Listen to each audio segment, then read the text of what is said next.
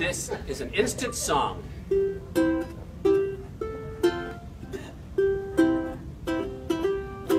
Well, I can't believe the day I spent 10 hours in the Memphis airport.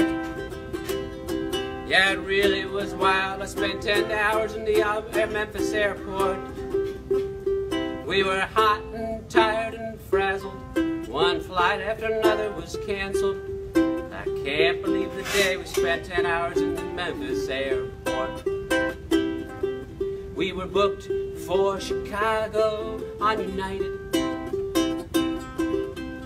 Ready and pumped up and really excited. Then they said the plane was late. That's the news I've come to hate. But that's okay so far, we're doing alright. Now United delay made the crew go overtime.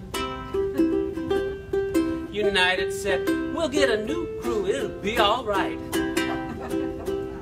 So what's another hour or two? We'll be in Chicago for the day is through. Till United said we're canceling till tonight. Now I can't believe the day spent 10 hours in the Memphis airport.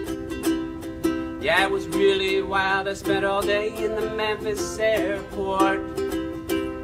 We were hot and tired and frazzled.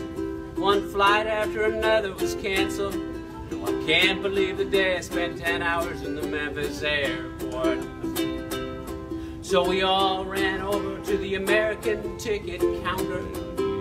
Mm-hmm. Got us a flight for three hours later. We're still thinking, hey, that's okay. Till we got a weather delay. And then finally canceled seven hours later. Isn't that right? Oh, yeah.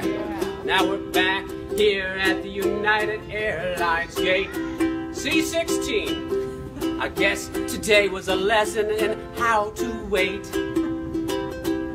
But we're still waiting for the crew. Cause they're eating barbecue. Looks like Memphis and barbecue, that's become my fate.